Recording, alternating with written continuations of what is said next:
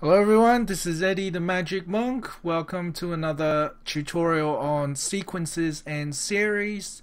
To do this tutorial, you need to have done our first tutorial on arithmetic sequences. So for example, you should know that an arithmetic sequence is made up of numbers where the difference between each term and its successive term is the same.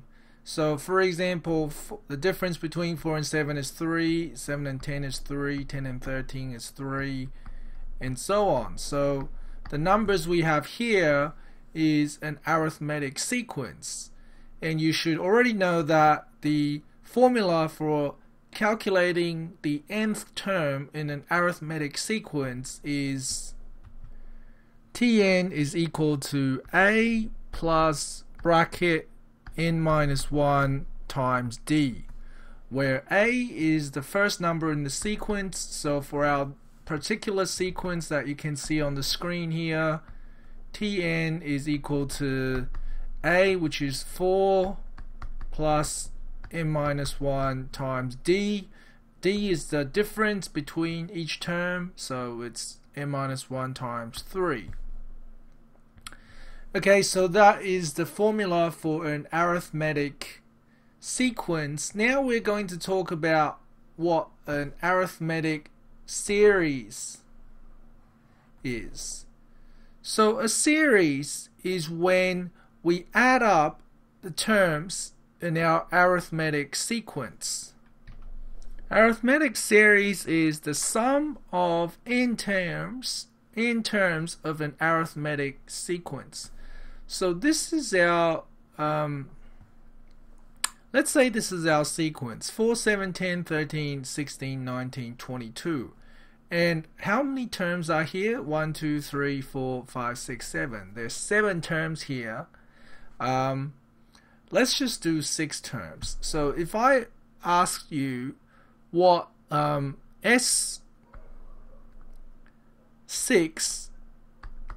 is equal to, now, the way we do that is we get this sequence and we add up the terms from T1 to T6.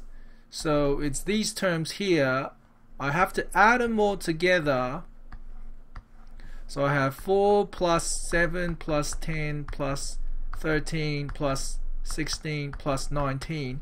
Add it all together and that is my answer. Right? The sum of terms from the first term to the sixth term of the arithmetic sequence. So I'm going to type all this in the calculator 4 plus 7 plus 10 plus 13 plus 16 plus 19. Oh, press the wrong button. And the answer is 69. Now, what if I want to know the sum of um, the first 20 terms in this sequence? Well, what I'll have to do if I want to do it the manual way is I have to figure out all the terms after this seventh number. I'll have to go um, 25 uh, 20A and I'll have to keep going get to the 20th one and then I'll have to add them all together. Now what I'm going to show you guys is a general formula for doing that okay? Because you don't want to do it the slow way it's going to take too long. So let's go back to the sixth um, to the sum of the first six terms. Let's go back to S6 and let's think about um, the numbers that we have here and what they represent. Okay, um, so let's say I, I want the sum of n terms in the in the sequence. Okay, so the first term I have the 4, I'm going to represent it using the symbols. So the 4 is A. Okay, remember how we said 4 is the first term, so 4 is A. Now, what is 7? 7 is A plus D. Okay, because D is 3 and 7 comes from 4 plus 3. And then I have 10, which is, let me use a different color. 10 is basically A plus 2D. And then I'm going to give the last term a different symbol. Okay, I'm going to give the last term 19. I'm going to call that L. Because remember, we're trying to come up with a formula for the arithmetic series, so we don't have to do it all manually. So I have L on the end. And where does 16 come from? Well, 16 comes from L minus D, right? Because L is 19 minus D, which is 3. So 19 minus 3 is 16. So 16 refers to L minus D. And then I have 13, which comes from L minus 2D, right? Because 2D is 2 times 3, which is 6. Okay, so now you might have realized um, what has happened um, is that I have quite a few variables now. And I can easily simplify the variables using like terms. So Sn is now equal to um, how many A's do we have got? A plus A plus A, so that's 3A uh, plus how many L's do we have? L, L, L, 3L. Alright, so the A's and the L's are gone. And the plus D minus D plus 2D minus 2D cancel each other out. So we have 3A plus 3L. Now, if we factorize that, then that becomes 3 bracket A plus L now, what do we notice about the number 3 uh, compared with the number 6?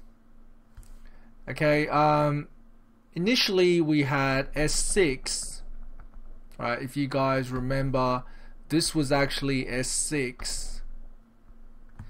So, if I want to get the number 3 from 6, what do I do? Well, I have it. So therefore, 3 actually comes from n divided by 2.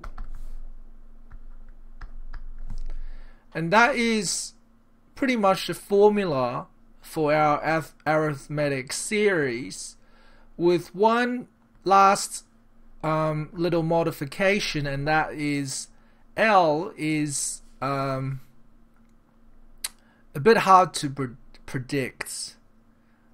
Right, so we're going to modify it and change L to the um, formula that we use to find out the last term in the arithmetic sequence, which is that one. Oops, which is this one. So I'm going to substitute that formula over here where L is so we can figure out the last term in the sequence. So it's going to be a plus n minus 1 d. And you can easily simplify this again. So I have n over 2 bracket 2a plus n minus 1 d. And that is the final formula for figuring out the sum of n terms in an arithmetic sequence. Okay, so using this, I can answer the question, what if I want to find out in this particular sequence um, the sum, find the sum of the first 20 terms in this sequence. In this sequence, in this particular sequence we have. Okay, so all we got to do is use the formula, So Sn equals n divided by 2 bracket 2a plus um, n minus 1 d. Okay so put that into the formula. We got s20 equals 20 divided by 2 bracket 2 times a is 4 right because that was the first term plus 19 because 20 minus 1 is 19 d is 3 so putting all this into the calculator and the answer is 650 okay thank you for watching guys. I hope you learned something on how to find the sum of n terms in an arithmetic sequence. See you guys next time